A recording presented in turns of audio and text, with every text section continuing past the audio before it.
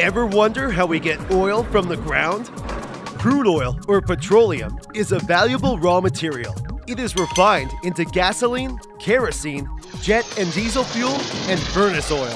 But because it's a non renewable resource, once it's removed from the ground, it can't be replaced and new sources must be found. Let's visit a typical rotary rig. Come on! Notice that this rig is really just a bigger version of a household drill with a rotating steel drill bit that bores deep into the ground in search of oil.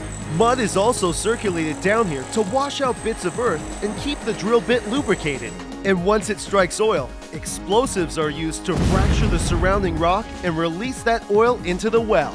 Now it's time to get the oil out by lowering a pump into the well that's attached to a beam above ground called a walking beam. An engine makes the walking beam rise and fall, creating the familiar up and down motion of an oil pump. And see what's happening?